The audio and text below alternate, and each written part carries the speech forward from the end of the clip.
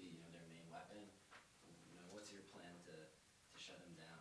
Um, to be honest, we don't really focus on, we don't really try to change our game plan that much. I mean, we'll adjust, obviously, but we have to focus on what we do as a team, um, help them recover, things like that.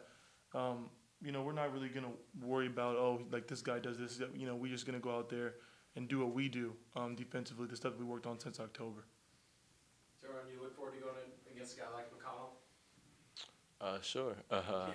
I mean, I don't really, I don't really make it a, a, a individual thing, you know, between me and other players. But um, I mean, he's a good player. Uh, I'm excited to play just against their their team. You know, uh, it's a big opportunity for us, a good challenge for us as a team. So, um, you know, more I'm more so looking at the um, the whole thing. You know, as far as our team and and how that win could uh, help us.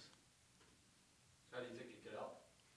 I think it's they're, they're a really good team. Oh, They're ranked what three in the nation or something like that right now. Um, you know, uh, so I mean it, that would definitely be a huge win for us. And uh, I, I mean I feel like we can play. You know, we can play with those guys. Uh, um, so I don't think it's you know it's anything that's impossible. Um, we just gotta you know go out here, uh, work hard and practice the next few days. Uh, pay attention to scout and uh, just go out there and play our hardest. And that's all you can ask for. At the end of the day, the chips will fall where they do.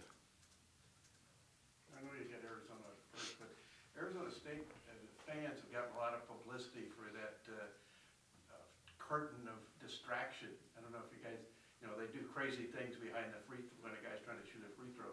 Uh-huh. In general, uh, obviously, every place in the country waves and things behind. Yeah. How you- how do you, do you guys conscious of it? How do you put it out of your mind? Does it ever bother you? Um, I didn't know they really. Uh, I didn't know they were known for uh, for that. But um, I think you know a lot of away schools. You know, say say a lot of things, do a lot of things, uh, try to distract you. Um, um, so I don't think it'll be anything different. I mean, I haven't personally seen what they what they do, but I'm sure it, it's probably not anything we haven't heard or you know someone hasn't done to us yet. So yeah, I don't think it's really should be too much of a distraction. When you're shooting free throws, okay, people waving their arms and things like that, are you able to put that aside and just concentrate on the rim? Is that hard? If you're focused, it doesn't really matter what they do behind the basket. I mean, you just gotta not dial in and knock down your free throws.